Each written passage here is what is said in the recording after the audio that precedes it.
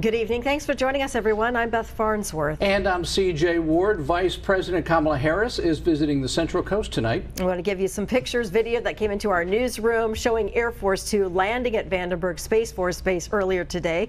Vice President Harris landed around 2.45 p.m. She is meeting with the men and women of the U.S. Space Force and Space Command. During the meeting, she is getting an update on their work advancing national security. And let's go out and take a live look at Vandenberg Space Force Base. And you can see there, uh, that's where she'll be speaking. They have not started the ceremony yet. Uh, she is scheduled to speak at about 5.15. Again, Vice President Harris landed about 2.45 this afternoon. News Channel reporter Dave Alley has been following her visit all afternoon long. He has more on how this visit has gone so far and what we can expect.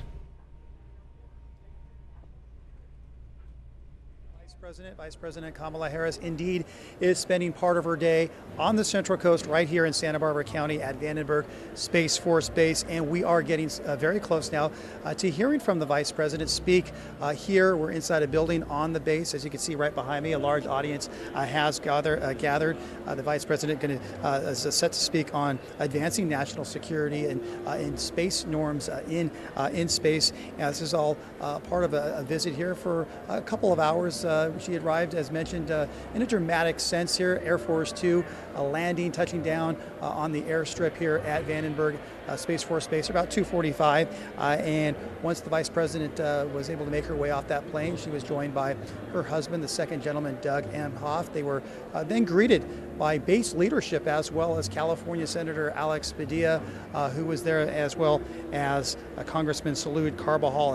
And soon after that, they were quickly whisked away to another part of the, the base here, the Combined Space Operations Center. That's where the Vice President was briefed on the work that is happening there uh, part of a, a, visit here designed to meet with all the men and the women uh, here at Vandenberg uh, that are in the U.S. Space Force as well as the U.S. Space Command and how they are working hard each and every day to advance national security.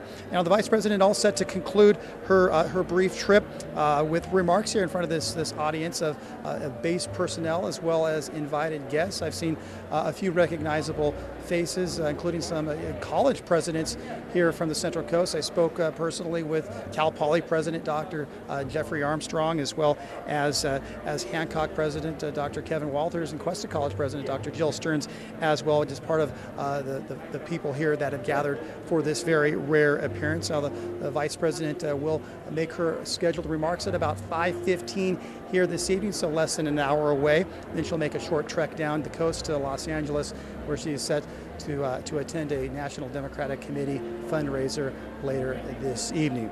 Uh, and I do also want to mention, I did mention it as a rare appearance, this is actually the second time now in three years the sitting vice president has toured Vandenberg Space Force Base. Uh, it was just back in 2019 when uh, then Vice President Mike Penn, Pence also uh, visited uh, Vandenberg, and he also spoke in this exact same building back then. And again, the Vice President now, Vice President Kamala Harris, uh, set to do that at 5:15.